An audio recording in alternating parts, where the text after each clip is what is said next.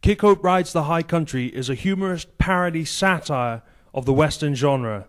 Um, I'm Alan Eltron Barrell. I wrote the novel, um, which is coming out this March 2012, available through directly through the publishers melrosepress.com, melrosebooks.com, sorry, um, through amazon.co.uk and amazon.com, as well as in participating stores throughout the UK.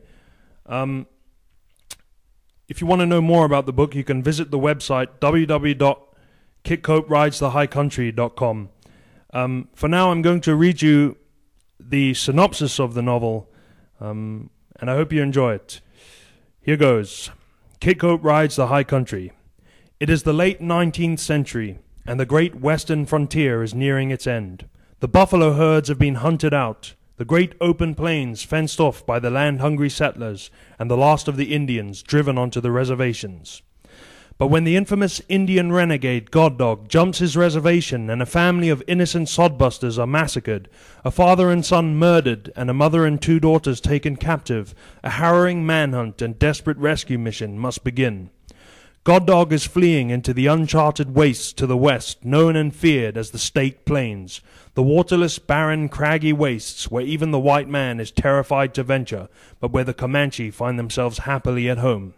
Meanwhile, in the small Kansas town of Wagon Trail, a naive but ambitious young buffalo skinner turned peace officer named Kit Cope who has dreamed all his life of such an opportunity to prove himself, is determined to convince the level headed town sheriff, Rainbow Cotton, to form a posse of men to hunt the Indian down and recover his captives.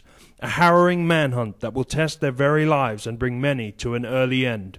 For they must pick up the Indian's trail and follow it unflinchingly into the unknown jaws and distances of the Stake Plains, the last stronghold of the Comanche. Fraught with adventure and peril, hope and disillusionment, cruelty, violence, and the persistence of boyish love, Kit Cope Rides the High Country is a story of two worlds at an end and the last stubborn holdouts on both sides who must meet for a final epic clash in an unseasonable echo of a former age.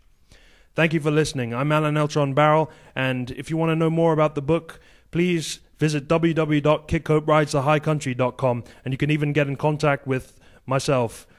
Thank you and goodbye.